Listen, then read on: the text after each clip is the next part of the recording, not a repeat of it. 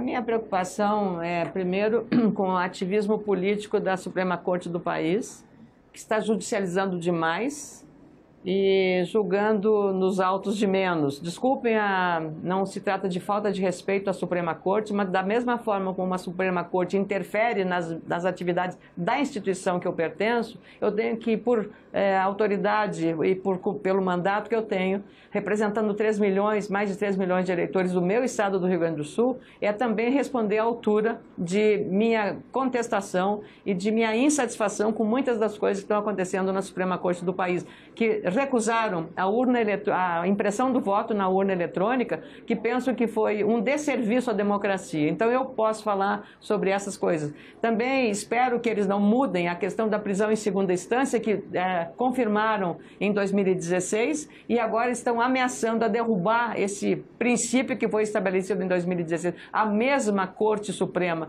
Então, que segurança jurídica é essa que nós temos quando criamos uma lei da ficha limpa e não sabemos, inclusive, se essa lei vai prevalecer ou não?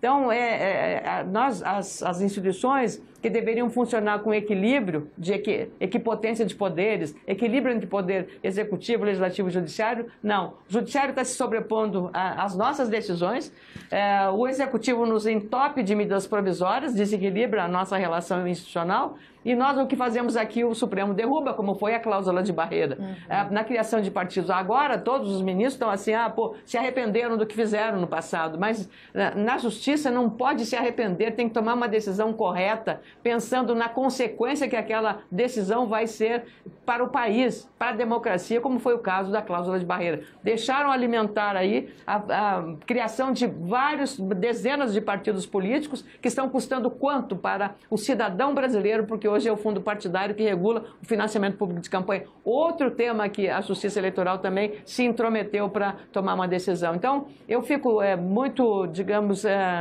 frustrada e decepcionada que talvez algumas, algumas essas decisões tem uma composição de uma turma muito preocupada em defender bandidos ou defender corruptos e menos preocupada com a sociedade que está pagando essa conta.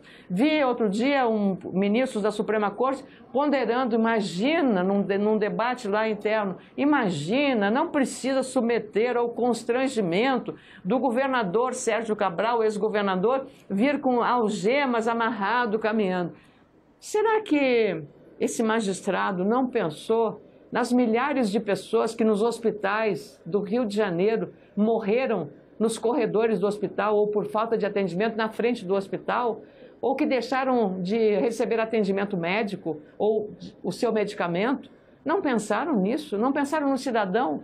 Quem é que vai pagar essa conta de é, gestores é, irresponsáveis que fizeram corrupção? Então, eu lamento que os senhores ministros e as senhoras ministras não olhem para a sociedade que está pagando pesadamente uma culpa muito grave.